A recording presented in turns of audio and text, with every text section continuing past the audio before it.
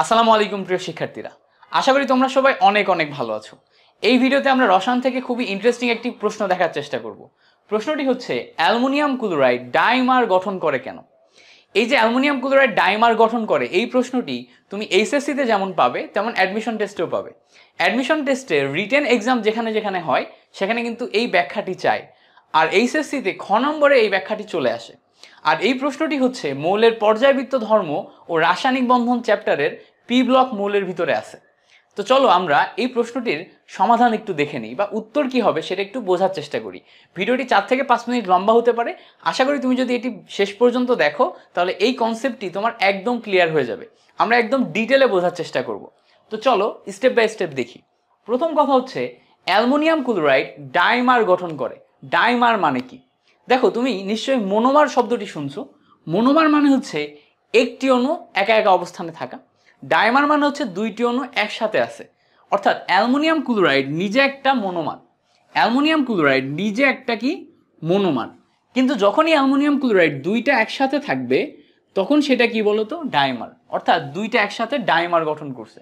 এবং যখন এরা ডাইমার গঠন করবে, তখন এদের যেই নতুন যৌগটা তৈরি হবে, সেটা হচ্ছে এল টু সিএল সিক্স এটাই হচ্ছে আমাদের ডাইমার এখন আমাদেরকে খুঁজে বের করতে হবে কেন সে ডায়মার গঠন করল?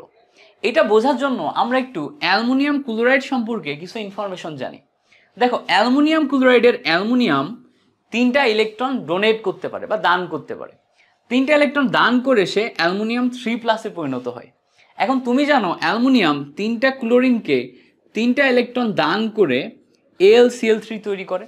আর তুমি এটাও জানো, যদি দান করে দান করে কেউ বন্ধন গঠন করে, আমরা সেই বন্ধনকে বলি হচ্ছে আয়নিক বন্ধন। তাহলে এখানে কি বন্ধন তৈরি হলো?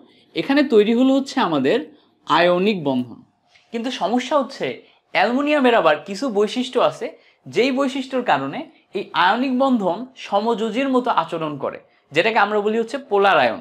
মৌলের পর্যাবৃত্ত ধর্ম রাসায়নিক বন্ধনের বন্ধন অংশে তুমি পোলার আয়ন সম্পর্কে পড়তে পারবে। তো এটা কেন হয় আমরা একটু দেখি। দেখো, তুমি যদি পর্যায় তিনের কথা চিন্তা করো, প্রথমে সোডিয়াম আছে, তারপরে ম্যাগনেশিয়াম আছে তারপরে কিন্তু অ্যালুমিনিয়াম আছে।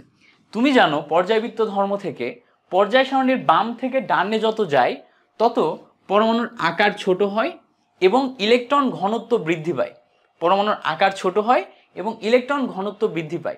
সুতরাং সোডিয়াম অপেক্ষা অ্যালুমিনিয়ামের ইলেকট্রন ঘনত্ব অনেক বেশি। যেহেতু অ্যালুমিনিয়ামের ইলেকট্রন ঘনত্ব অনেক বেশি, সে ইলেকট্রনকে নিজের দিকে টানতে পারে। অর্থাৎ এরা আয়নিক বন্ধনের সময় যে সমস্ত ইলেকট্রনকে ডোনেট করেছিল, সেই ডোনেট করা ইলেকট্রনকে বন্ধন থেকে আবার নিজের দিকে টানে। এই নিজের দিকে টানার কারণে এখানে দেখো ইলেকট্রন জোর মাঝখানে অবস্থান করে।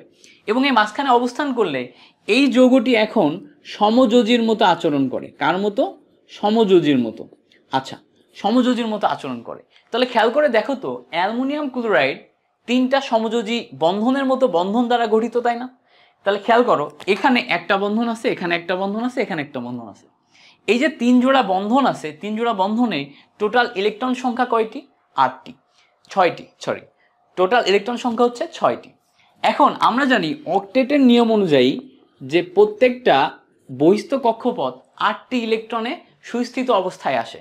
তাহলে এই বন্ধনকে সুস্থিত অবস্থায় আসতে গেলে এখনও এক জোড়া ইলেকট্রনের প্রয়োজন। এখন সেই জন্য অ্যালুমিনিয়াম ক্লোরাইড তার অক্টেট ফিল আপ করতে যে কি করবে? ডাইমার গঠন করবে। কীভাবে করবে? দেখো স্ট্রাকচারটা যদি আমি তোমাদের একটু সুন্দর করে লেখা শেখাই, কি করবা? প্রথমে তোমরা একটা অ্যালুমিনিয়াম বসাবা, তারপর এখানে আরেকটা অ্যালুমিনিয়াম বসাবা। এরপরে সাইডে কি করবা? দুইটা ক্লোরিন বসাবা, এখানে একটা ক্লোরিন বসাবা।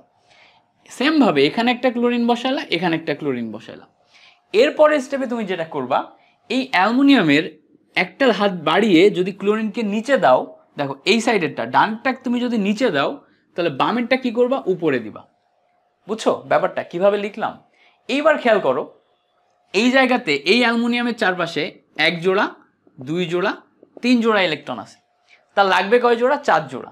এখন এই ক্লোরিনের যেহেতু এক জোড়া, দুই জোড়া, তিন জোড়া, চার জোড়া ইলেকট্রন আছে, সে তার এক জোড়া ইলেকট্রনকে এই অ্যালুমিনিয়ামের সাথে শেয়ার করতে পারে। সেমভাবে এই ক্লোরিনের যেহেতু বহিস্থ কক্ষপথে চার জোড়া ইলেকট্রন আছে, সে এক জোড়া ইলেকট্রনকে তার অ্যালুমিনিয়ামের সাথে শেয়ার করতে পারে। এখানে যেই ধরনের শেয়ারটা করল, এটাকে আমরা বলি হচ্ছে সন্নিবেশ সমযোজী বন্ধন। এটাকে আমরা কি বলি? সন্নিবেশ সমযোজী বন্ধন। সন্নিবেশ সমযোজী বন্ধন ব্যাপারটা কি? যদি আমি তোমাকে একটু খুব সিম্পলি বোঝানোর চেষ্টা করি, ধরো তুমি এবং তোমার বন্ধু এক রুমে থাকো। এখন তোমাদের রুমে ব্যবহার করার জন্য একটা হ্যান্ড ওয়াশ প্রয়োজন।